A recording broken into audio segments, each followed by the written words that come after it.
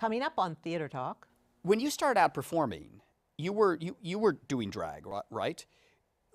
Did you consider yourself growing up? Did you like dressing up as women, or for you was it just shtick? Was it just this is going to be my way into show business? I had uh, both, both. But once I started doing it for a living, it takes. Once you get paid for something, it takes all the fun out of it.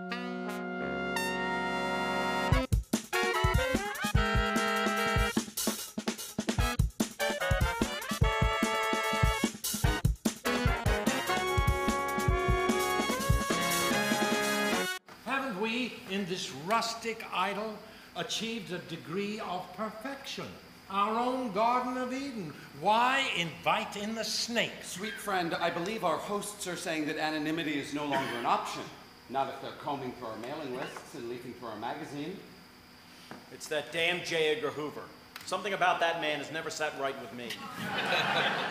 From New York City, this is Theater Talk. I'm Susan Haskins. And I'm Michael Riedel of the New York Post, and we are delighted to have one of our favorite guests of all time, Joan Rivers, is here with us tonight on Theater Talk. That's you know one more pull, one more pull, and it could be, And you could. and I could be.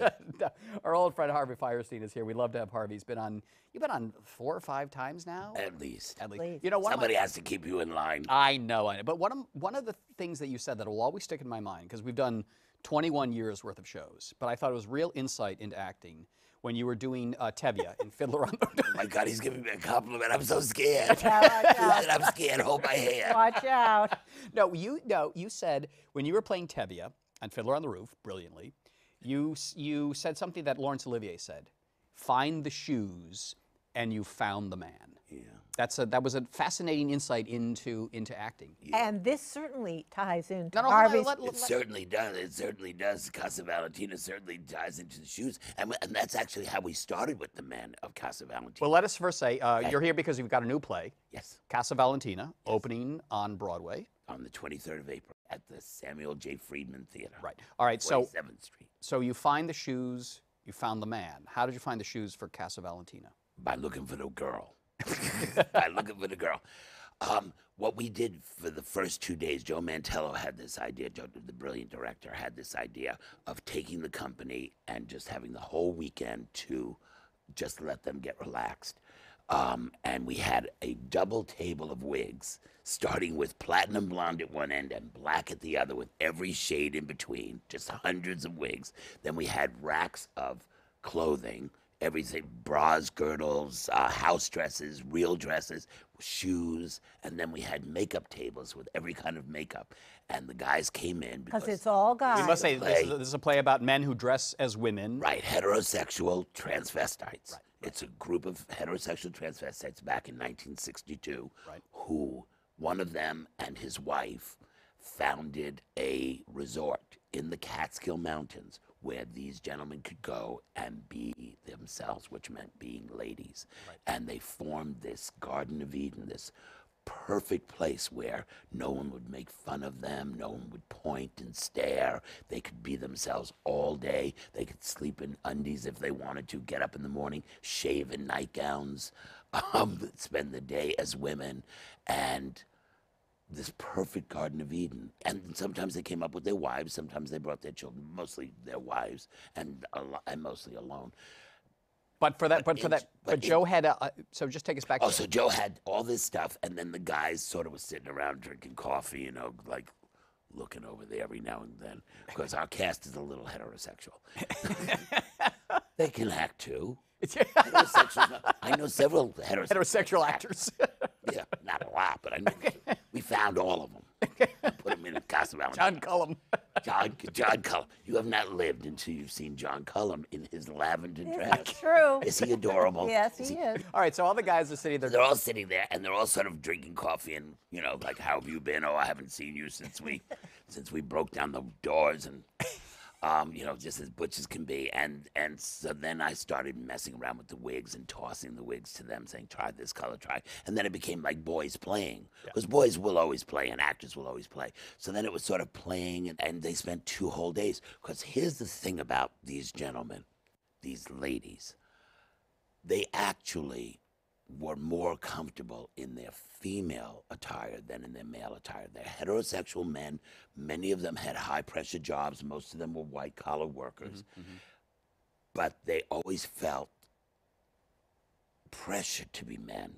Right. But when they put on their drag and they took on their female persona, they relaxed and they breathed. Which and that's what we need the actors to do. And that's what's happening with the actors. You they have to. We ha- so they rehearsed. Nobody told them what to do, but they rehearsed every day in different varieties. Some people full drag, full makeup every day. Some just with the wig on and a house dress over their men's clothes. Whatever made them comfortable. Because the idea was, by the time they got to the theater, nobody would be like awkward. Nobody would be putting anything on. They'd all be relaxed, and they are. So it's John Cullum, Larry Larry Palmer. Larry Pine, Tom McGowan, uh, Nick Westrate, the fabulous uh, Gabriel Ebert Who won the Tony who for won the Tony last year for Matilda, Right. um, uh, Patrick Page, of course, and Reed Birney in a career-defining performance. And they're all straight. These are, I mean, why, why we don't want to out, but these are all straight actors. Did, did, Mostly. did, was there any reluctance on their part? Any, un, was No, anyone we- uncomfortable at it was all funny. about doing they, the s- They said it was hard. They said getting people to audition sometimes was hard. cer- certain names they went after, but everyone we cast almost begged us for the roles. Oh, they're having a great time. And Joe and I sort of said, let's use the ones who are really begging for the roles. We let's not have anybody get scared later on. And there are two women in the play as well. Mare Winningham and Lisa Emery Right, right. are both. Very important. Do you have a sense that some of these straight butch actors are enjoying this so much that they might become transvestites in their personal Well, lives? you know, between you and me, um, I I had to take Paige Davis on the side the other day and apologize. I said, Paige, you know, Patrick. Patrick, uh, you know, Patrick may not ever get back into men's clothes. But you know, she said, she said, here's the strange part. Since he's been doing the role, he no longer yells at her about how long it takes her to get dressed. so isn't that kind of interesting? It's like he now understands that this is a process that is not the easiest thing to do. What got you thinking about this play? I mean, what, what was the inspiration for this? Colin Callender, who had produced um, um, at, when he was at HBO, in charge of HBO Films, he he um, did uh, Tidy Endings. Right, my, from uh, Play my Safe Play Sex, Safe Sex for Stockard Channing and I, and he called me up and said. There's this book of photographs. These two guys uh, found a bunch of photographs at a flea market. They turned out to be photographs of these ladies up in the Catskills, and they printed a book of photographs. We'd love to get you to write a play. And I said, you know what? I actually know about it because my father was brought up in the Catskills in Ellenville, New York, and we knew about it. You'd heard about this I'd heard about it when I was camp where men dressed as women. Yeah, but you know, as kids, there was a nudist colony right across the road. We'd much rather go to the nudist colony. you know, if we were going to walk down that road, we weren't looking for men flouncing around in dresses. We wanted to see naked people, children. You know. So, so I said I knew about it. I said, but you know, what have I got to say about, you know? And their idea was. You know, oh, it'll be a fun romp. You'll write a fun romp. You know, these, oh, these fun people that go up there and they put on dresses and oh, won't it be fun? It'll be like, you know, just a romp. It'll be oh, like that- a casual fall. Or, or Yeah, what was that terrible Rite of play about the stewardesses? with The, Boeing, Boeing. Boeing, yes, Boeing, thank you. but that's what they had in mind. So A farce, a farce. Yeah. they chased me for years, and they said you're the only one who actually talked about those photographs in the book. Because what what struck me in the photographs is look how happy they are. Look at how peace at, at peace they are. And I said it's sort of fascinating. I'm not interested in writing it, but it is sort of fascinating the way they look. And they said please look into it. And I started looking into it, and what I found, I mean it's it's it, it's a whole sort of political movement happening. Then we think of the sexual revolution, sixty-five to sixty-nine. This is sixty-two. It was starting. Everything was roiling then. Sixty-two, the Supreme Court came down with their first pro-gay ruling, which was if heterosexuals have the right to ogle Marilyn Monroe's titties, mm-hmm. then homosexuals have the right to ogle men in bathing suits. You know those muscle magazines. yeah, yeah, yeah. That's that came down in '62, and I said, we have the lesbian, gay, bisexual, two two spirit, trigender. They, we got this this I know L- alphabet list, LB, LBGT gets, Yeah. keeps adding more letters to it. but not transvestite. Yeah. So what happened? I found out the story, which is that the transvestite community, the heterosexual transvestite community, made a decision that society would never accept them if they thought they were homosexuals. That the reason their marriages broke down was not that they liked dressing as women, but that the wives feared that they went up to the country and were having sex with each other. And they made a decision we will ban homosexuals or we are homosexuals. Yes, that's the statement very I have in the interesting play. thing. Right. I have, I have this the character in the play says says and and actually they turn so it turns into this big discussion between them. You know, like who are we to ban other people and all that. You know, it's a really kind of gorgeous. And I used as many quotes from the from The real conversations from that they real had. conversations that I could find. But there's a line that I wrote where Reed Birney says, "50 years from now, when homosexuals are still the back alley vermin of society, cross-dressing will be as normal as cigarette smoking, and the transvestites will cheer those in this room And you bring out this homophobia within them, and but you do sort of wonder how many of the men are really afraid of their own homosexuality. And that's the question. What I really found is that none of these men dressed for the same reason. Hmm. Some, it really was a sort of clothing fetish. Mm-hmm. Some, it was an underwear fetish. Mm-hmm. Some really found release in being a girl. Mm-hmm. Some found release in being a girl and wanted to have sex as a girl. Mm. Some, it was autoerotica. So, so in this little tiny group that you say they have this in common, they had nothing in common. No. Right. And it started making me think none of us really have. If we start asking ourselves what really turns us on, what we're all so very different, and which is why we have to accept one another. There's so much to think about in this play. I've been, I saw it last Tuesday. I've been thinking about it ever since. But number one, how oppressed that wife was. I'm sorry, from my perspective, I felt that that wife was a doormat. Well, in 1962, women were, were Yes, and then the the picture of women that they were dressing to is so is so sort of horrifying in its own way. I mean, you know that what's what's being a woman to their minds dressing like a woman, the most constrained, ridiculous clothes, and they're all dressed like Phyllis Schlafly. They're not dressed like uh, They're not dressed- like Cajal Faux. No, no, They're no, Very, no. very, ca- very, Very very respectable. They they wanted to look like they were at a bridge. DAR wear. That's how they. That's how they rated each other. You had to look real. When you started out performing, you were you you were doing drag, right? Did you consider yourself growing up? Did you like dressing up as women, or for you was it just shtick? Was it just this is going to be my way into show business? I had uh, both, both. But once I started doing it for a living, it takes. Once you get paid for something, it takes all the fun out of it. you know? and and you know, and it does take so much work. It does. Do I love doing drag on stage? Yeah, absolutely. but when you were a kid, did you did you yeah, I dress mean, as my friend Philomena show. Uh, uh, I have two friends since kindergarten, and my friend Philomena uh, uh, brought a picture to show of like I think we were in third grade and we did the Halloween party at my house, and I was a monster. We were all monsters. You know, kids are crazy about Lon Chaney and that stuff, yeah, but- yeah, yeah, but I was a lady monster. what was your what was your costume as a lady? um, one of my mother's house dresses, and then I had lipstick going down my face as if it was blood. That's and- wonderful. Was but as a kid though, so you would just dress up like like regular kids would dress up. Yeah, no, it wasn't very much. Not- I mean, it was. I mean, I was a, str- I was a strange kid. I was. I mean, you know, No. well, I had, and my parents allowed it. You know, I, as a little boy, had a baby doll and a carriage, Hmm. and the neighbors would say, "You're letting him have it," and he said, "It makes him happy. Leave him alone." Hmm. you know, my brother, had, my brother had cars and fights and baseball and all that, and I had my baby carriage, and I was happy, and he was happy. When did you start uh, dressing up and getting paid for it though? Warhol, 1971. Andy Warhol um, had auditions for Pork, his one and only play, Right. dir- directed by Anthony Ingrassia Yeah. at La Mama. And I saw the ad in the paper, and I and I was a painting student, so I wanted to meet Warhol. I mean, Yeah. it was Warhol.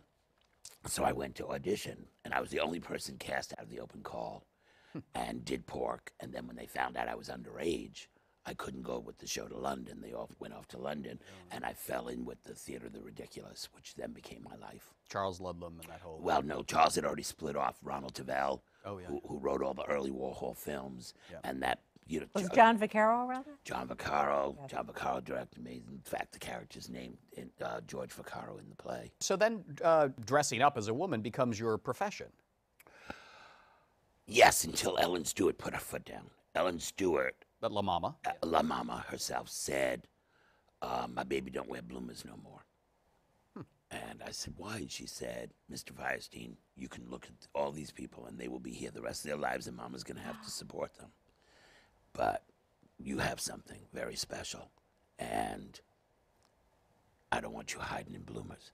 So she My jaw's dropping, that's so she put me. So I, I did a one man play of H.M. Koutoukas' poetry Yes. called One Man's Religion. Mm-hmm. And she came to my dressing room every night, you know, because she used to ring the, do- the bell, say, Welcome to La Mama, dedicated to the playwright and all aspects of the theater.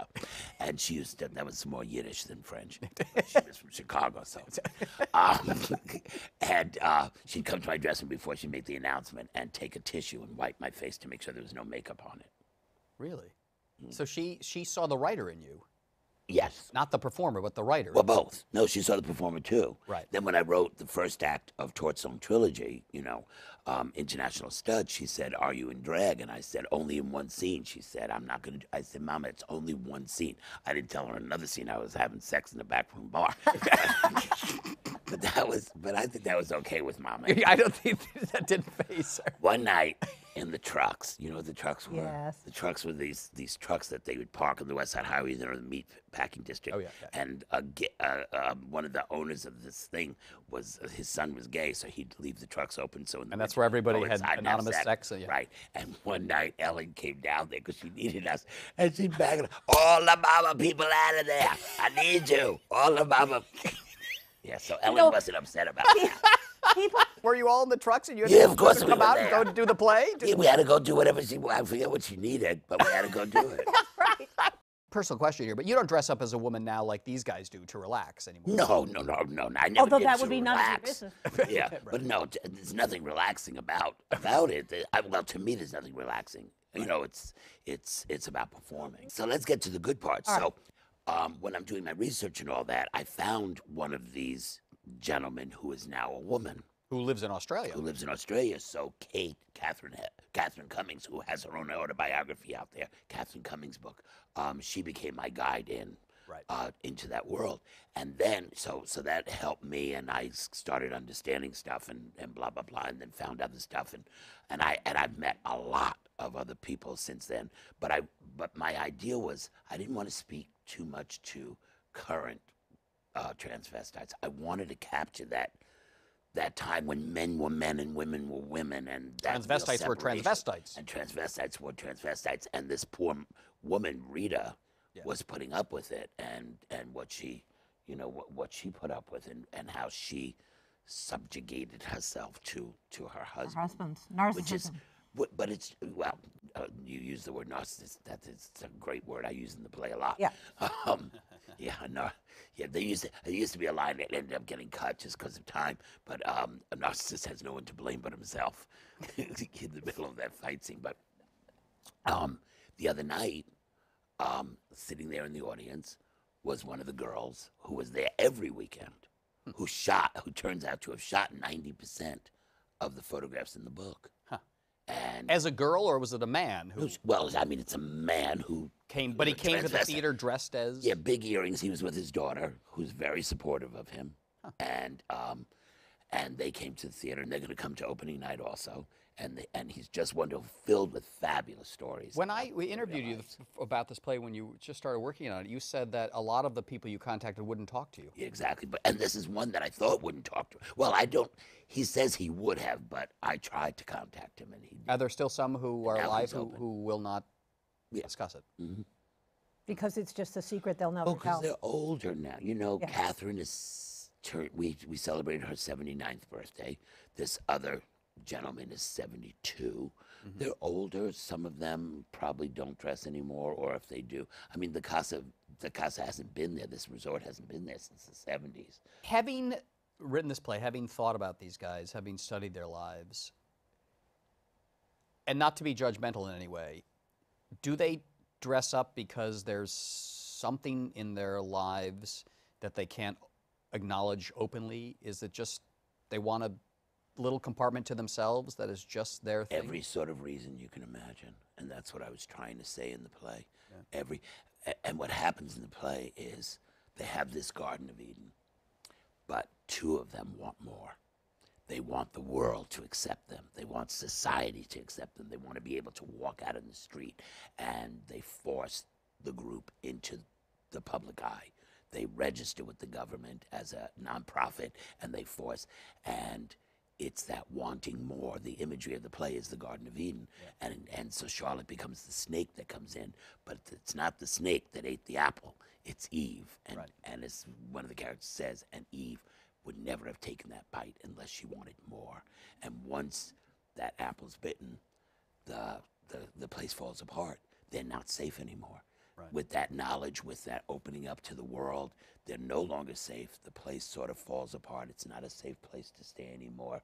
And one of the characters has to admit, well, I don't want to ruin the place. No, and you, and there's no easy answer. There's no easy answer. No. No, because you want acceptance, but on the other hand, you have created this world where they can really be themselves on their own terms. But what is it they really Yes, want? Yes, that's the point. That's the point. And that's what The- he's asked. The, the, and but I asked one of the the wife who's been who has facilitated all of this. The doormat, yes. She owns a wig shop. She does wigs for all of them. She cooks for them. She cleans for them. She dresses very plainly while they all dress up. She pours their drinks. She cl- and and and thinks she's helping these wonderful, lovely people. These these people that treat her like gold. They treat her wonderfully until she begins to realize they're not fooling around. They're not just dressing up here.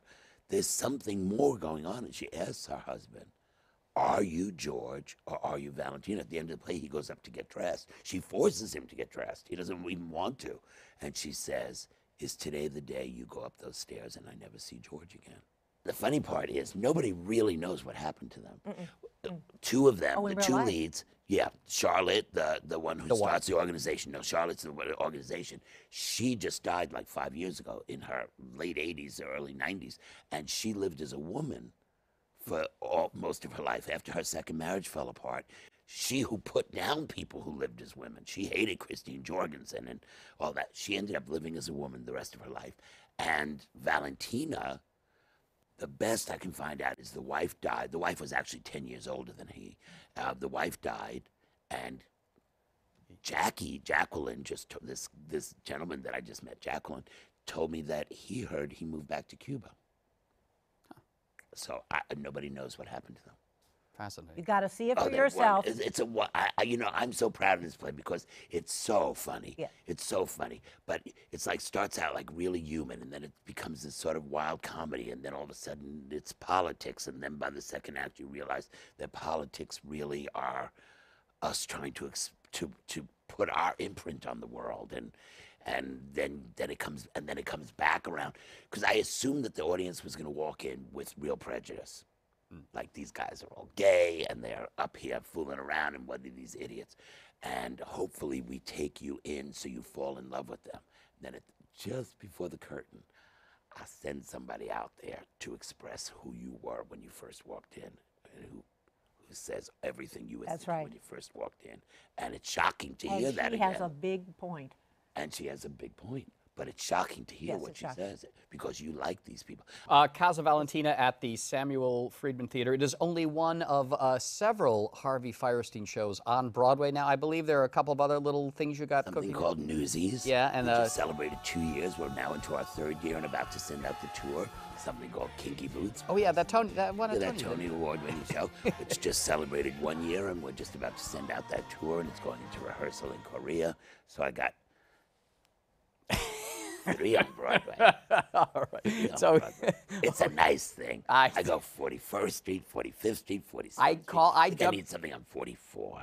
I dubbed you the mayor of Broadway, and it's come to pass. It must be great. Every every time you go to the mailbox, there must be a nice check there from this show or that show or this That's show. nice, but you know that's not the nicest part. You know, the thing that you called me the mayor of Broadway is because he walked down the street with me and all these people. You cannot know, walk two steps with this man in Times Square without people coming up to him and Do you know what talking that to him. feels like, though? Do you know how wonderful that feels when people come and they? I mean, I was with somebody and they were just absolutely shocked that that that people talk to me as if they've known me all their lives. And, exactly. And you know how wonderful that is that people come up and they, oh Harvey, when I saw this, blah blah blah, and they tell me, they tell me what, oh, and you got to eat over here. I had the had the chicken there; it was very good. and I mean, it's it's. You know, th- to think of being a kid dreaming that one day you'd be on Broadway is something. Right. But to be such a part of Broadway is beyond any dream I ever had. But you know I- what- And I do not take it for granted. All right, Casa Valentina at the Samuel J. Friedman Theater. Probably one of our favorite. Wear your heels. Okay. Heels. find, find the heels, you found the man. It's true. I don't know how to ask this. Reading the magazine, everyone says that they feel half male and half female. They make it sound so organized. Organized, that's funny. It's intimidating. It's advertising. Do you eat a bowl of Wheaties and expect to win the World Series? But how do you balance the female part? I'm a decorated war hero wearing a house coat and turban. Do you really want my advice? Our thanks to the Friends of Theater Talk for their significant contribution to this production. Theater Talk is made possible in part by the Frederick Loewe Foundation, the Corey and Bob Dinelli Charitable Fund, the Noel Coward Foundation, Carrie J. Fries, the Dorothy Strelsin Foundation, plus public funds from the New York City Department of Cultural Affairs, the New York State Council on the Arts, a state agency, and the Theater Development Fund's Technical Accessibility Program, which helps provide closed captioning.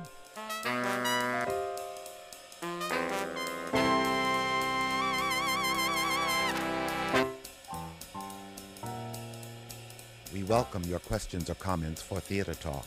Thank you and good night.